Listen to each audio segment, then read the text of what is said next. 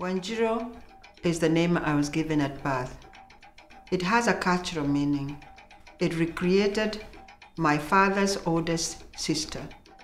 However, the missionaries and the British colonialists who couldn't pronounce my name considered my identity foreign.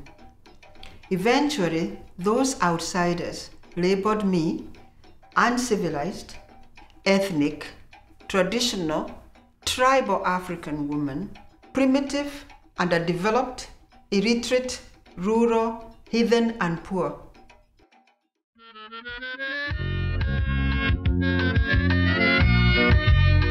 The missionaries baptized me Josephine. Josephine became my ticket to heaven.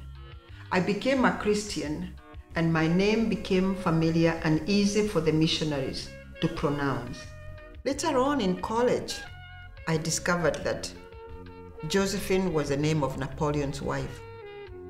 She was a callous woman and very much unlike me.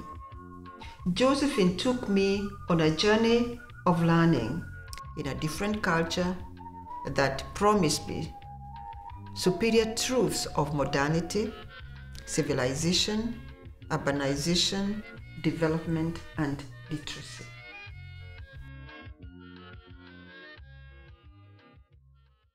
My auntie was my Garana or namesake. She was my natural mentor by virtue of the fact that I was named after her.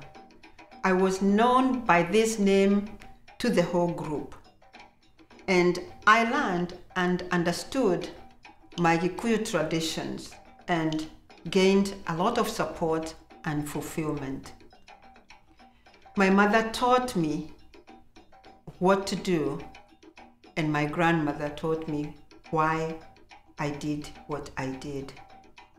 My chores consisted going to the river, tilling uh, this, the land, and I learned how to cook for myself and the rest of the family.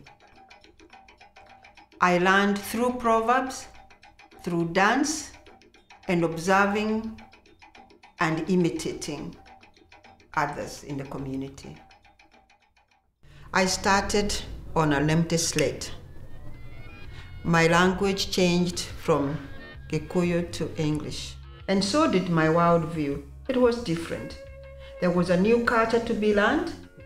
Learning started with writing my name and my father's name. I lost my mother's name.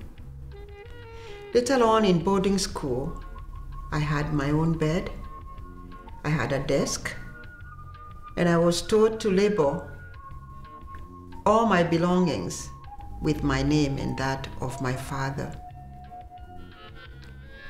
Later on, I realized that the I was uppercase, but all the other pronouns were undercase. This sent a strong message to me, which disputed a popular proverb which states, I am because we are, and because we are, I am.